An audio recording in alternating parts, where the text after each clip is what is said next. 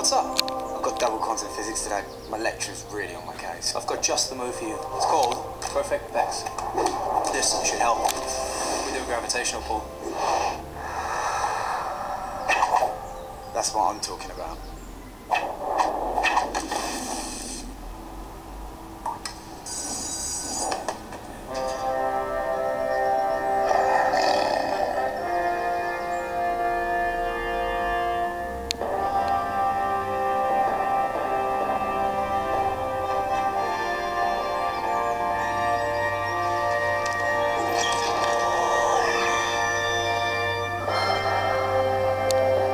Think you can do better?